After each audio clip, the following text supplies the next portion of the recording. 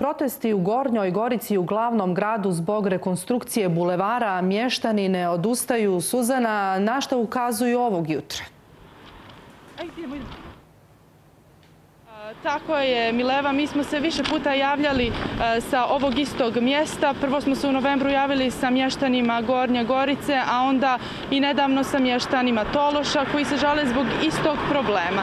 Dakle, u pitanju je, podsjećamo, izgradnja bulevara kroz Gornju e, Goricu. Oni se žale na to što planom e, na razdjelnim ostrovima nisu predviđeni nikakvi otvori za obližnje ulice, odnosno priključci bulevaru.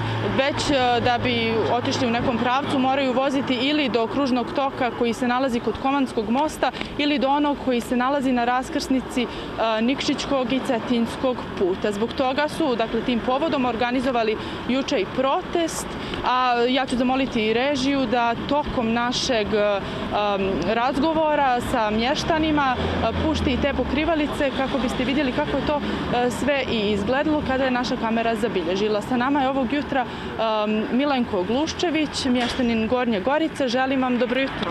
Dobrodošli, dobro jutro. Uh, već dugo traje vaša borba za um, promjenu jel tako, plana rekonstrukcije. Govorili smo o tome, uh, javljali ste se i glavnom gradu, obraćali ste se nadležnim institucijama. Um, niste dobili nikakav adekvatan odgovor u smislu promjene. Dokle ste stigli sa javljanjem i imate li neki odgovor sad? Pa svi odgovori koji su došli još uvijek nemaju nikakvog pomaka. Dalje. zato ćemo biti, biti istrajni u svojim e, namjerama i svojim zahtjevima. Sa ovim načinom i prilaskom na naš e, smo totalno nezadovoljni i nemamo nikakvih, nikakvih rješenja za sada. Ono što vi konkretno tražite jeste da baš u ovom dijelu bude raskrsnica dodatna, je li tako? Nas samo interesuje ova raskrsnica, jer preko puta ove raskrsnice su nam svi vitalni objekti mesne zajednice. Pošta, ovaj, đavola, vrtić, e, bolnica i sve togo. E, koliko ulica ovdje? Oko pet ulica ste nam kazali prethodnog puta. Je li tako? Nema funkcionisanje, nema adekvatan priključak. To jeste neće imati predviđenim e, planom. Na ovu raskrsnicu izlazi pet ulica trenutno, a sve ulice koje su još u dometu imaju svoje priključke. E, također jučer ste organizovali protest. E, šta ćete nastaviti dalje? Kako će se to odvijati dalje? Šta je vaš sljedeći korak? Proteste ćemo nastaviti da organizujemo do, do istrajanja. Moramo imati ovdje ulaz na bulevar. Moramo ići u grad. Ljudi moji, shvatite, moramo u grad. Hvala vam najljepše. Sa nama je i Anka Jovetić, također mještanka Gornje Gorice. Želim i vama dobro jutro. Dobro jutro. Vi dakle vodite cijelu proceduru, negdje sa vama najviše razgovaramo. Prošlog puta imali ste oko 500 potpisa. Koliko ih imate sada? Ima ih oko 700, ali smatramo da više ne gubimo vrijeme jer smo dosta vremena ovdje prolazimo.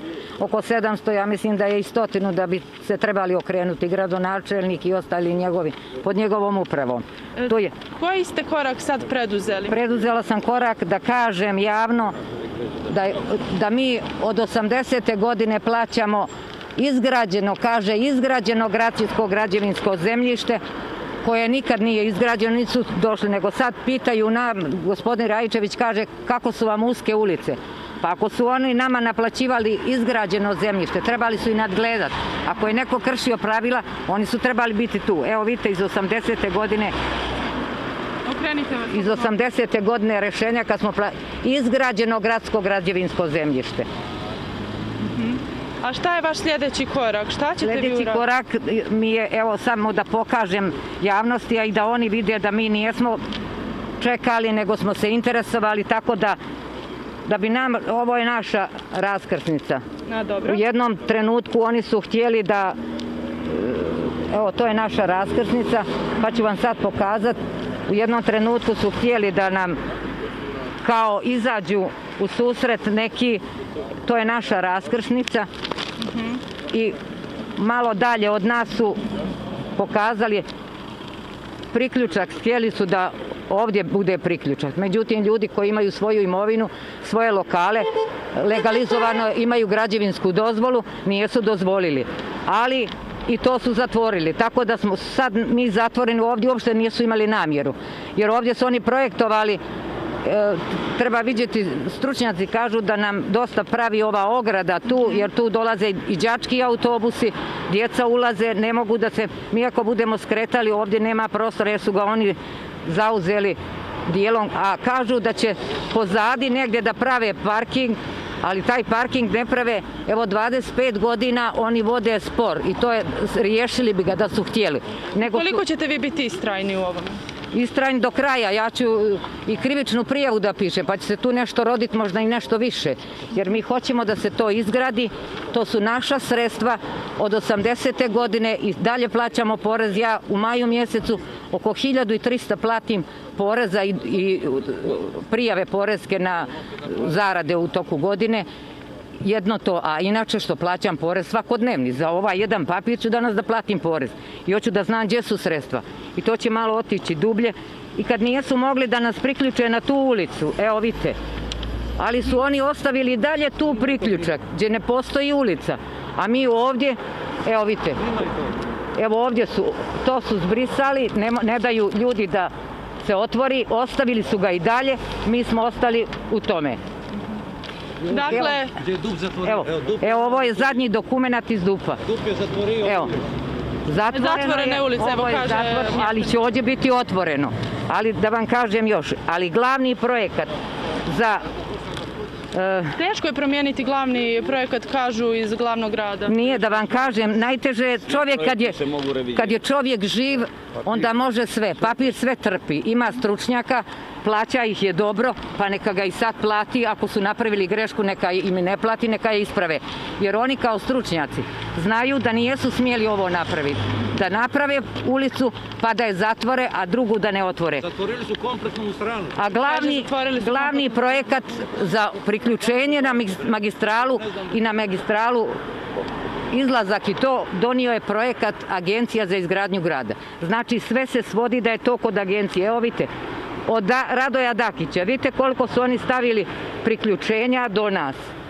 Da. Na 140, na 150, na 150 mi smo ovdje. A ovdje je najviši čvor jer mi smo vezani s mjestom. Da, eto tu pri- prikazano je pet ulica, je li Jeste tako? pet ulica. I ogranci drugih I ogra... ulica. Jeste, evo vidite na koliko, na 140, na 150 metara stavili su da može. Jedino kod nas ne može. U redu, hvala vam najljepše što ste uh, izdvojili vrijeme, što ste nam predstavili vaš Da problem. vam kažem, moram još nešto da kažem. Mi smo toliko puta pita- pisali gradonačelniku jer on je nadređen na gradskom upravom. Jeste li dobili odgovor? Nikakav odgovor nismo dobili. Mi smo čas organizovali skup građana, prijavili policiji le- re- legalno. Niko nije izašao iz, ispred nas ni da kaže da može, nego služba ona zaštitna rekla je on je naput. A mi smo napisali u dopisu osam dana prije da može i prije da nas primi tako da se ne moramo okupljati. Međutim, ništa odgovorio nije. Sve, je, sve se upućuje kod njega, a on ne, ne progo- on samo dođe kad treba neko igralište da otvori i onda se sastane u mjesnu zajednicu. A, a mi kad kažemo mi kad kažemo da se sastanemo u mjesnu zajednicu, da nijesmo ovako pod ovim uslovima, pa da se fino dogovorimo. Izričit je, došao je jedno jutro srđan iz agencije direktor, doveo je ovu gradsku televiziju i tu je pričao i kad smo rekli u mjesnu zajednicu, on je izričito rekao neću. E ovako je rekao neću. E pa sad još jednom molimo gradonačelnika da se okrene. Ko će ako neće gradonačelnik? On je tu da rešava sve naše e, probleme. E, Kad je planiran sljedeći protest? Sljedeći protest, pa evo sad Svaki ovo dan- hladno, od svaki dan u 17. 15 od 17. ćemo biti svaki dan od 15 časova. Hvala vam najljepše, nemamo više vremena, ali hvala vam. vama, hvala vama.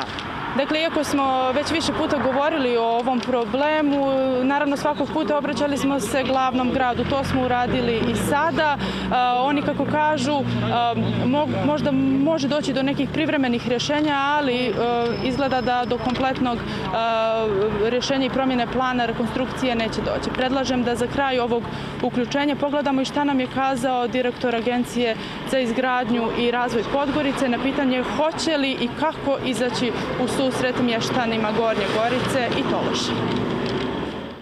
povodom obraćanja mještana Gornje Gorice i Tološa koje se odnosi na izgradnju kružnih tokova na lokalitetu kod groblja u Gornjoj Gorici i na lokalitetu sa ukrštanjem budućeg bulovara sa ulicom Đuro, Đura Draškovića želim da napomenem da je Agencija za izgradnju i razvoj Podgorice saglasno važećoj planskoj dokumentaciji izradila projektnu dokumentaciju i tu projektnu dokumentaciju revidovala i kao takvu proslijedila je na dalju nadležnost shodno sporazumu koji glavni grad ima sa upravom za saobraćaj, znači upravi za saobraćaj. Uprava za saobraćaj je ta koja je raspisala tender, izabrala izvođača radova i izabrala nadzor nad izvođenjem radova na budućem bulevaru koji se proteže od Nikšićko-Cetinske raskrsnice do Komenskog mosta. U više navrata smo saopštili kako putem medija, tako i građanima u neposrednom kontaktu na sastancima koje su imali u Agenciji za izgradnju i razvoj Podgorice, da je taj projekat urađen u skladu sa detaljnim urbanističkim planom, da ga je do izmjene planske dokumentacije, a izmjena planske dokumentacije u nadležnosti Ministarstva ekologije, prostornog planiranja i urbanizma po našem mišljenju teško, da ne kažem nemoguće, nemoguće mijenjati.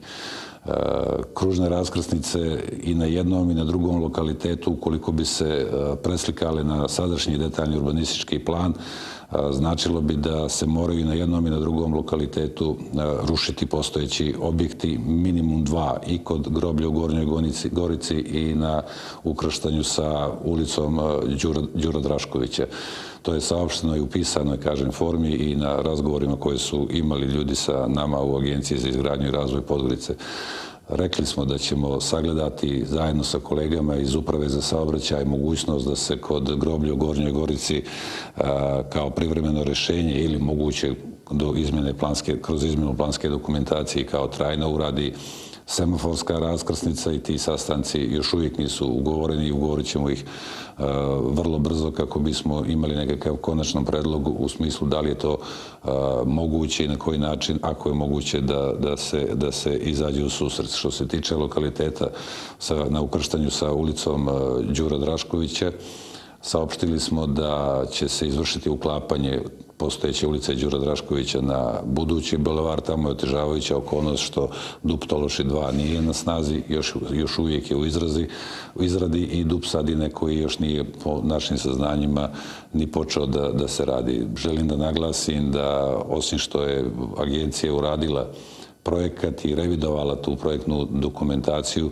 Sve ostale detalje kada je u pitanju izvođenja radova na kompletnom bulevaru su u nadležnosti e, Uprave za saobraćaj koja je, ponovit ću, investitor, investitor tih radova na tom, na tom lokalitetu.